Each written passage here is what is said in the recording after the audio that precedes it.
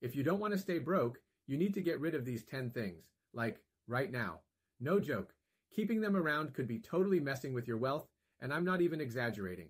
Feng Shui, which is this ancient Chinese practice that's all about creating harmony in your space, says that the stuff you keep at home really affects your energy. And energy, well, it impacts everything, including your money.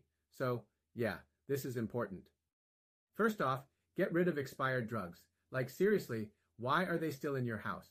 They're not only useless, but according to feng shui, they carry bad energy that could block financial flow.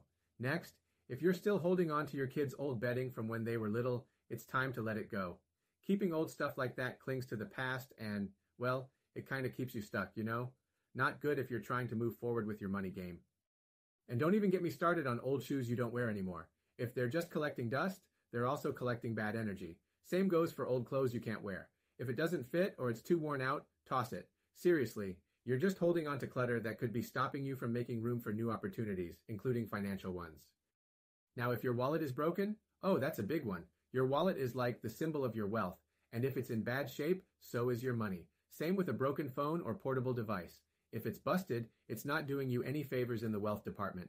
Time to let it go. Empty flower pots? Yeah, those too. Feng Shui says they symbolize a lack of growth, and you don't want that kind of energy hanging around if you're trying to make money. And if you have an old waste glass fish tank just sitting there, it's like totally stagnant energy. Get rid of it. Rusty tools? Yep, those gotta go too. Feng Shui is all about keeping things fresh and in good condition because it reflects how you take care of your life, including your finances. And finally, dead plants. They're, well, dead. And dead things bring in dead energy. You want your space to feel alive and thriving, not stuck and lifeless. So, seriously, go through your house, check for any of these things, and clear them out. Your wallet and your energy will thank you. So, What's still hanging around your house that might be blocking your money flow?